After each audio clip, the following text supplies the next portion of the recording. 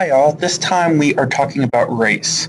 Uh, first we'll be defining the definitions of both race and ethnicity and some accompanying definitions, and we'll talk about demographics, and then we'll talk about issues uh, commonly associated with race. Race is a socially defined category that is based on perceived or real differences between groups of people. So race is based on our physical appearance, which is based on biology, but it can vary based on society to society. So in that way, we know that different human societies have different ways of defining what races are. What it means to be black in the United States today, what it means to be white in the United States today, could vary with another society in the past or another society globally, uh, which are very interesting concepts because we tend to think of these things as being um, set.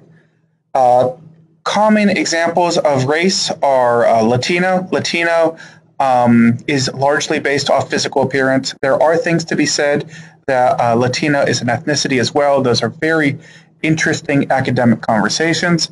But uh, for our purposes today, we will use uh, Latino as an example of a race.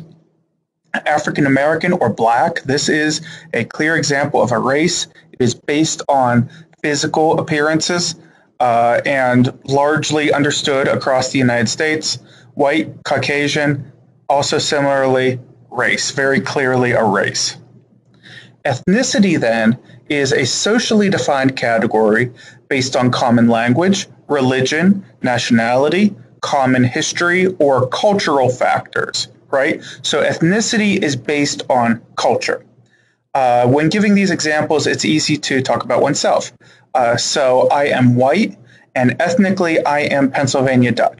The Pennsylvania Dutch are a group of German descendant people that lived in eastern Pennsylvania for about 200 years without really moving. And then many of us moved out from there. Um, we share a common cultural heritage. Uh, we share common foodways, uh, some common religion, uh, and there is a Pennsylvania Dutch language that is dying away, but still does exist in some areas. Somali people. Uh, here in Columbus, Ohio, where I live, there's a large Somali population uh, because of migration patterns that occurred in the late 1990s. Somali people are African or black by race but uh, ethnically they are Somali and they have a very distinct culture in that way. Irish people. The vast majority of Irish people are white, but ethnically they are Irish. And Mexican people. Mexican people uh, are overwhelmingly Latino, uh, but to be Mexican means to come from Mexico. And it is different from being Guatemalan or being Venezuelan. Now, these are really important distinctions. Sociologists see race and ethnicity as social constructions because race isn't based on biology. Uh, there is no specific set of markers within the human genetic code that determines race. We can see what your skin tone what your skin tone is. We can maybe determine where your ancestors from, from were from, but none of those specifically indicate race, thus indicating it as a social construct, something that us humans have made up. Um, but that doesn't mean it's not very real. Uh, to be put in a social category uh, of human uh, by the rest of society certainly has very real implications for all of us. Racial categories do change over time, thus proving they are also part of our culture part of the history of the United States, and this is uh, deeply problematic and racist, is who is white and who is black.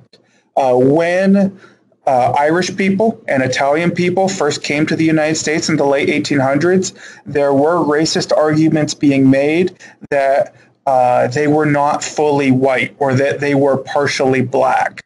Uh, the Irish were said to have a black undertone to their skin. And that sounds like nonsense, and it is nonsense, but to people of that era, that sounded as viable justification as to why Irish immigrants should be treated poorly. Uh, another thing to point out is that racial categories never have firm boundaries.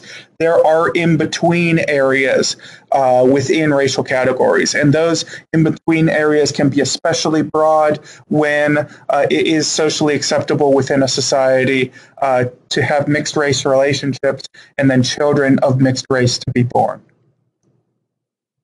Now, these are important distinctions because depending on your racial identity versus your ethnic identity, the way you behave in those identity categories can change. Ethnicity can be either displayed or hidden, depend on your individual preference. So you can hide your religion, you can hide how you eat, you can even hide the way you speak. You might not like that, or that might make you feel uncomfortable, but if it comes down to your physical safety, you can do it. With racial identities, we are talking about what your body physically looks like. Thus, it's dramatically harder to hide a racial identity than it is to hide an ethnic identity. Now, here we have uh, two ways that our ethnicities can behave for ourselves. And sorry, there is a typo there. There's a zero in every day. I should just say every day. Symbolic ethnicity is an ethnic occurs when ethnic identity is only relevant on specific occasions and does not significantly impact everyday life. Uh, you can call this uh, hol holiday ethnicity. That's how I remember it. So symbolic ethnicity we see on St. Patrick's Day when people who may have very, very little actual Irish heritage, they claim to be very, very Irish, and it means a lot to them. Well, the other 364 days a year, it doesn't mean that much to you, but today it does. Whatever will let you do that. Uh, that's symbolic ethnicity. Situational ethnicity, then, is an ethnic identity that can be either displayed or concealed depending on its usefulness in a given situation. Uh, this is ethnicity when beneficial. It is similar to the concept of uh, cultural capital that we talked about when talking about socioeconomic class. It is using your knowledges, in this case, your knowledge of your ethnicity to bond with another person in terms of, you know, uh, getting along with them. It, it's using your ethnicity when it benefits you.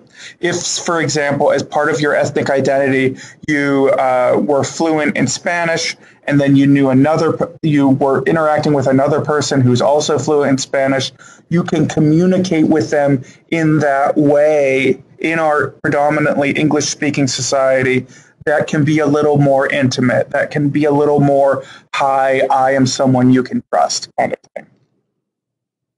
Now let's talk about the demographics of race in the United States. Here is what a demographic breakdown of the United States looks like as a whole. This is based on 2010 census information, uh, and we have every reason to believe that the 2020 census will look uh, pretty similar to this. Something might bump a couple points, but this is what the general breakdown is going to look like.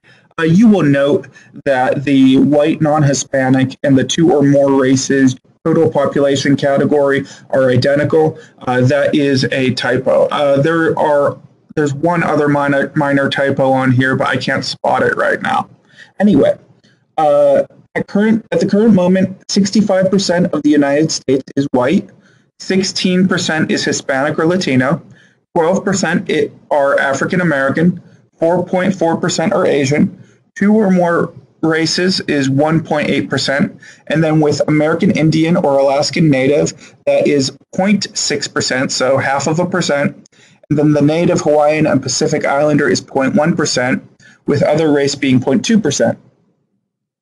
Now, the first most obvious question I ask with this uh, chart is, is this your lived experience? Does this look like the world you live in? Now, since uh, you're enrolled in this class for University of New Mexico, I am guessing that this does not look like your lived experience because the Southwest has a dramatically higher Hispanic Latino population than the rest of the world. Uh, in Columbus, Ohio, where I live, uh, this this is pretty accurate, especially uh, for the city itself. Now, if I go outside of Columbus, uh, that is way lower of a white population. Most of the people that live just outside of Columbus, Ohio, it's almost exclusively white. I would say it's at least 85% white. Um, other things here. Uh, it should be noted that it, I believe it was the year 2005 when Hispanics uh, became greater in number than African Americans. But like I said, in the Southwest, it's been like that for, for quite some time. Uh, the Asian category is uh, tricky there. Uh, that category um, is, is it's a it's a weird category. It's it's it's problematic because Asian. Are we talking about people from India? India is on Asia. Are we talking about people from Saudi Arabia? That's that's part of Asia. No, our social construction of Asian in the United States is the way we view it. We're talking about China, Japan, Korea, right? East Asia. But the way we commonly talk about it, there's there's very much a you know what we're talking about kind of situation, which is awkward. And is it racist? Yeah, probably is. Um, so that's weird. Uh, where do we put uh, Arabic people? Where do we put people from the Middle East? Do they classify as white? Do they classify as other race? Uh, that is a weird uh, place that our society as a whole has not come to a consensus to. The two or more races category, uh, the mixed race category, uh, it is expected that in the near future in the census, that category is going to change the most because it was actually a new category in the 2000 census. More and more people are identifying as being mixed race uh, for a couple reasons. First of all, it is becoming a category that we think more about, so people do actually identify as that category. Uh, additionally, uh, there are more mixed race uh, children being born because it's now more socially acceptable to uh, have a uh, mixed race romantic relationship. I believe I'm getting ahead of myself a little bit there. I think I talk about that in a couple slides. So yeah, our society is becoming increasingly diverse. I'm go- gonna breeze over the things I talked about a little too much. non-whites make up about 38% of the total U.S. population. We address that uh, non-whites are projected to be the numeric majority by 2040. Now, what exactly does that mean? That is lumping everyone that isn't white into a big category and everyone that's white in a big category, which isn't super useful. What this looks more like for the dynamic of the United States is we will still have a majority we will still have the most, the biggest category being white, right?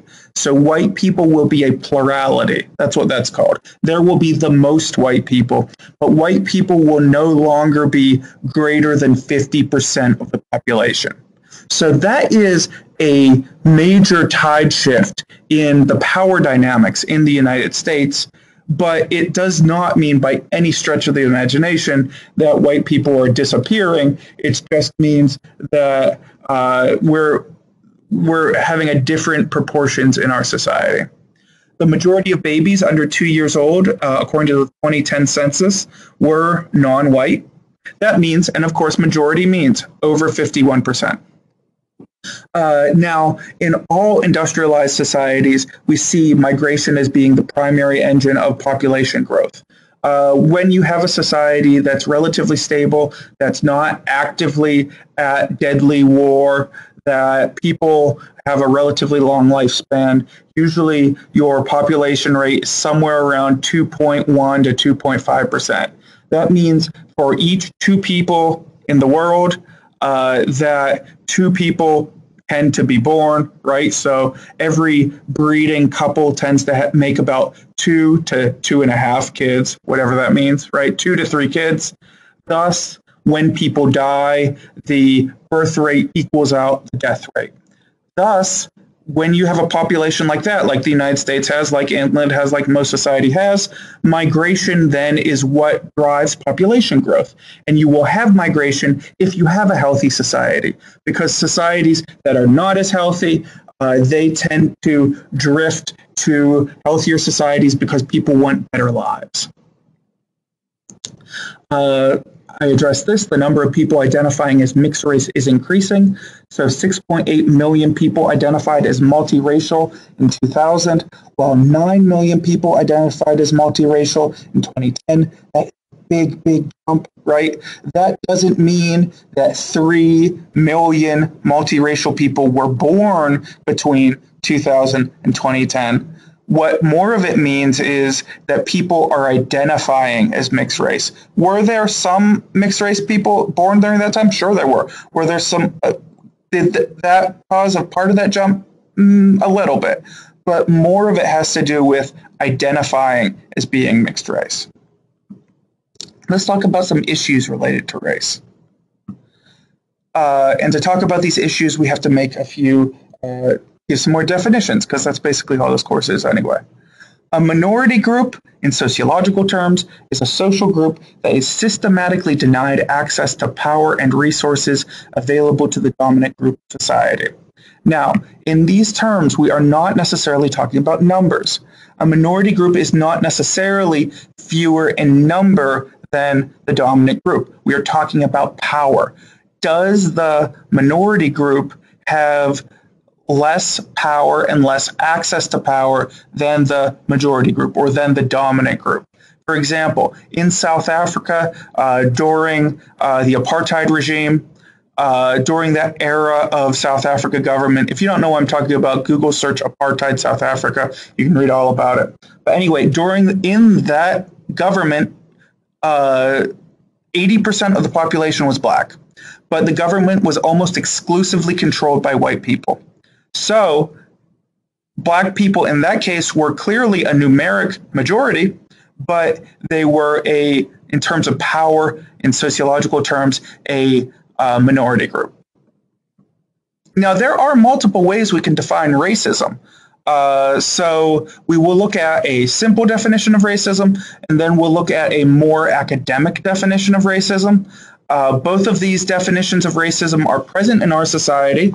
But we need to know both of these definitions when having conversations about race because many people uh, have just the simple definition of race and racism, but without the more complex definition, we are missing a major component of how race operates in our society.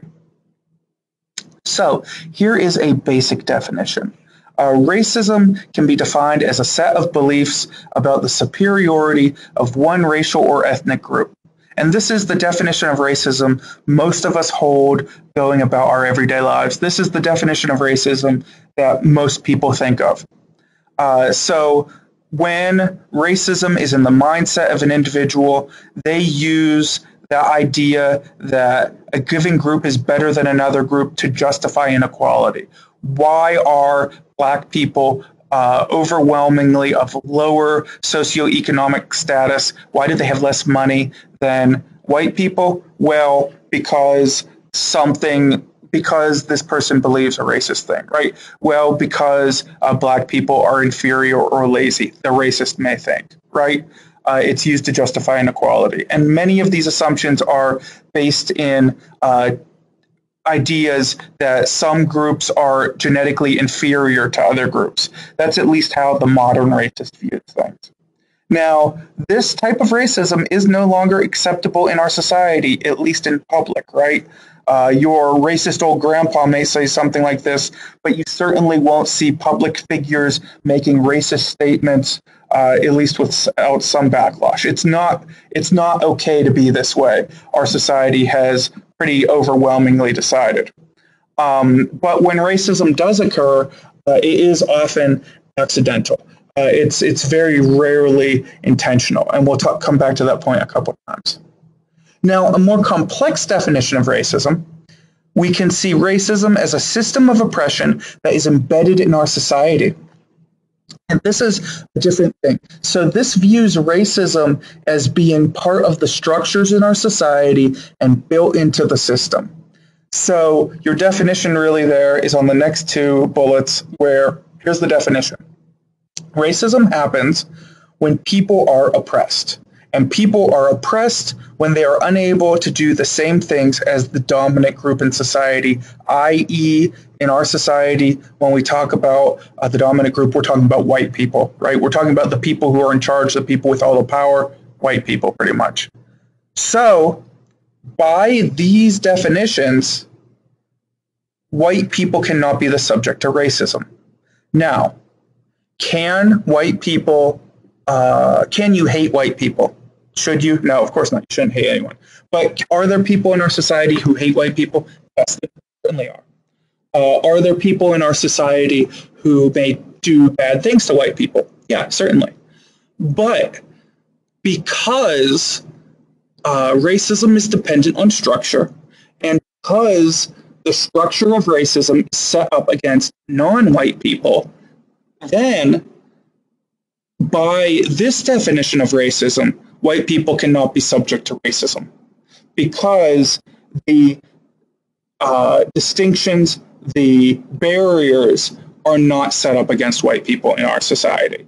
And I think this is really important to point out, especially in an academic setting like college, because I have heard too many academics say, just to start with, you can't be racist to white people and end it there.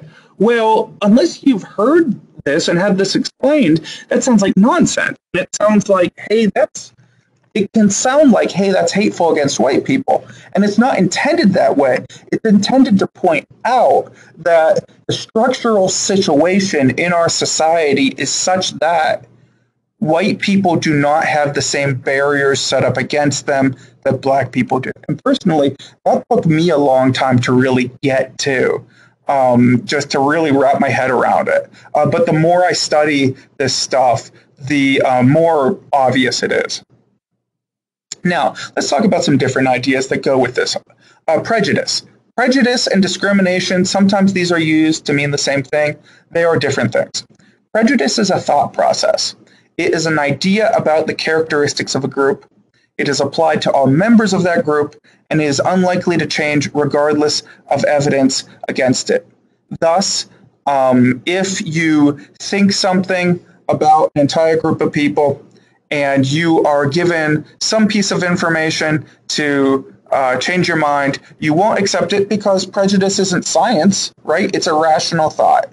So uh, if a racist person is forced to work, uh, someone who's racist against Latinos, uh, who is forced to work with a Latino person uh, and thinks all Latino people are lazy, but this person that he's working with is not lazy, he'll say something like, oh, well, Sam here, he's one of the good ones, right?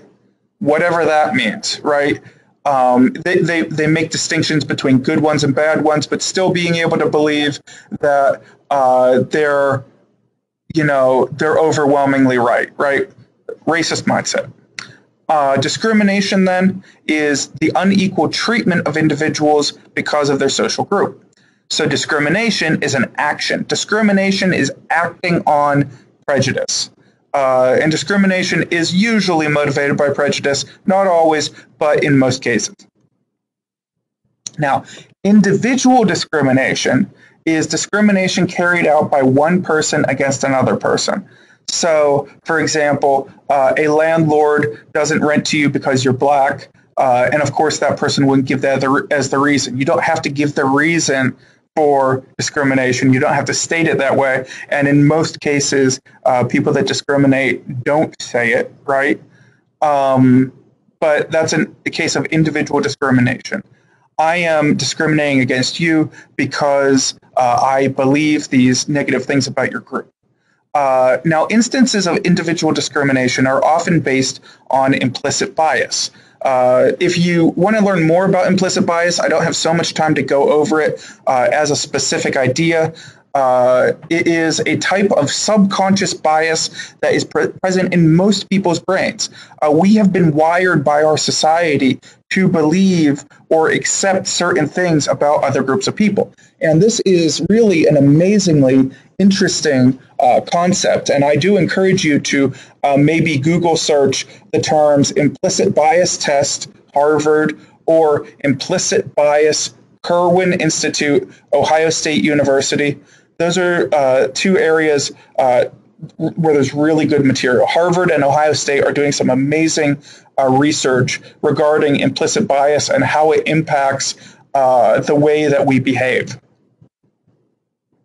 Now, institutional discrimination is systematic discrimination carried out by social institutions. So these institutions may be political, they may be economic, they may be educational, and they uh, affect all members of a group that come in contact with it.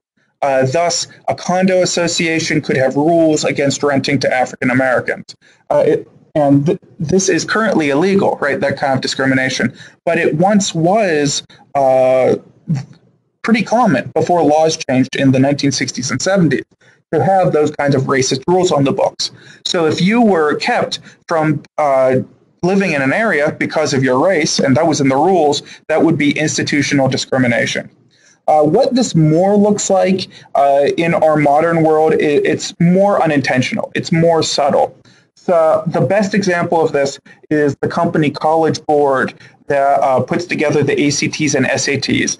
Problems for quite some time with uh, wordings on uh, those tests that were uh, biased against people who were non-native English speakers.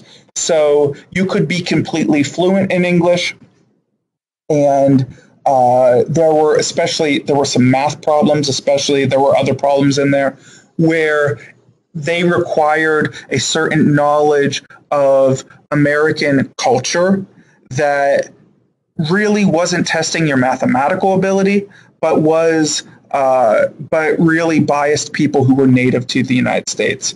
And that kind of subtlety, that's what institutional discrimination often looks like. Uh, one example of one of these questions would be something along the lines of uh, a baseball player is runs from one speed at one speed from home plate to first base and at another speed from second base to third base, assuming the average of those speeds how long did it take that player to run around all the bases, right? Where that requires a pretty basic understanding of baseball that most people would have, uh, even people not interested in baseball. But if you came from another place where baseball was completely foreign, even if you spoke the language completely fluently, then that question that was aimed to measure your math ability uh, would be unfairly biased toward you. And there were a number of lawsuits uh, in these regards.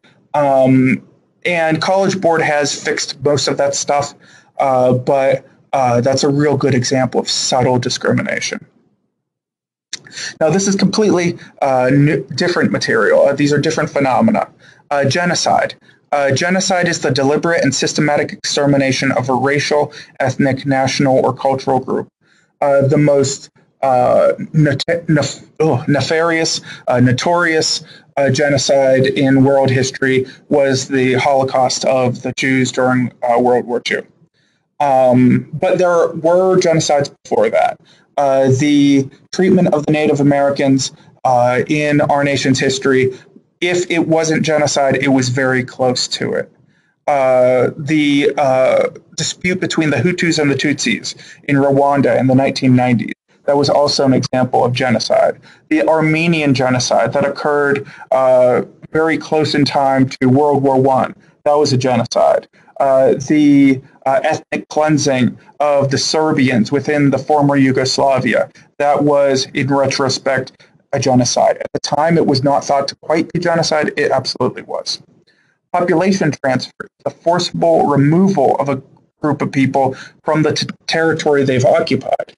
Now, population transfer, even if it is legal by the laws of the given country that it occurs in, is always noticed by the international community because when genocide occurs, it is often preceded by population transfer. Uh, the uh, Jews in World War II were first moved from their homes into centralized ghettos in cities, and then from those centralized ghettos to the concentration camps. So that was an example of an elaborate population transfer. The most notorious population transfer, uh, there were several that have happened in American history.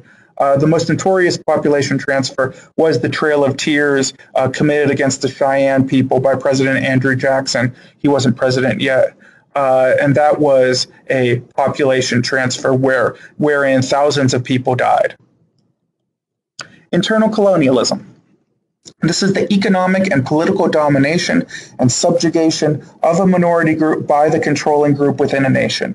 So we see this, uh, and a reminder, colonialism was a system uh, set up by governments in the 16, 17, and 1800s, where uh, countries would be set up to be uh, subordinate to other countries, right? So the United States, the original American colonies, were a colony of Great Britain. Uh, Great Britain also had India as a colony, and those colonies were expected to feed natural resources to the mother country, right? That was colonialism. Uh, internal colonialism occurs within one country's boundaries. Uh, the Appalachian region in uh, Kentucky and Tennessee and southern Pennsylvania. That region, it could be said to be a type of internal colony. There are very few major cities within that region uh, because in the 1800s and early 1900s, most of the wealth of that region was funneled up into New York City and Chicago, right? That created a, there should be more major cities in that zone. That's internal colonialism. Any area where in a wealthy country such as the United States that is overwhelmingly poor but has great natural resources could be in a situation of internal colonialism. You could make some interesting arguments that New Mexico is in a inter- internal colonialism uh, situation. You can make arguments against that too, but it's an it's an interesting conversation that could be had. Segregation. We in our country have a pretty good. Uh, teaching in our history classes of what segregation was. It was a horrendous moment in U.S. history, but I don't need to go into too much uh, detail with it. This is when uh, black people and white people uh, were made to use different facilities in much of the South or Southeast. Uh, and that's basically what that looked like. Assimilation. Assimilation uh, occurs when the minority group is absorbed into the mainstream or dominant group, thus making society more homogenous, thus making society more all the same. And for a long time, assimilation was the predominant ideology to be used in the United States whenever any um, minority group interacted effectively with the mass of white people in the United States. This can occur in two ways. It can occur via racial assimilation or cultural assimilation. A racial assimilation occurs when racial minority groups are absorbed into the dominant group through intermarriage. So I'll talk about both of these, then talk about examples. Uh, cultural assimilation occurs when racial or ethnic groups are absorbed into the dominant group by adopting the dominant group's culture. Now, either of these can occur in a more kind of natural, friendly sort of way. Uh, whenever any two groups of people are living in the same space at the same time, people will naturally uh, have sex with each other, have relationships, form families, right? So that's what racial assimilation looks like. Uh, anytime people live in neighborhoods or areas together, those people will uh, share foodways, share culture, share things. That's what cultural assimilation looks like, and that can be that can be relatively friendly. Now, or it could be not friendly. Uh, there were many instances in the 1800s and first half of the 20th century when uh, Native Americans and other groups were forced into racial assimilation and cultural assimilation.